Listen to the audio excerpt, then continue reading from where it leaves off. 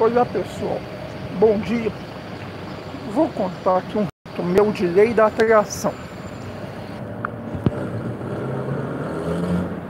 Eu passo por esse restaurante para ir para trabalho.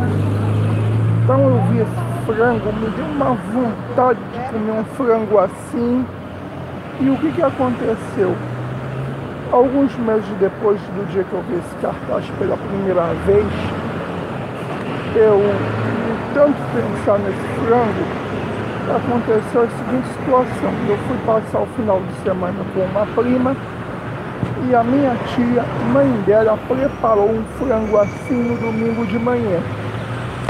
Então o que eu quero dizer com isso? Eu acabei comendo o frango que eu tanto queria. Eu adoro frango assim assado e o seguinte, e eu consegui atrair para minha realidade o meu desejo de comer o frango assado. É isso aí. Produzido por José Magalhães. Tenham um bom dia. Namastê.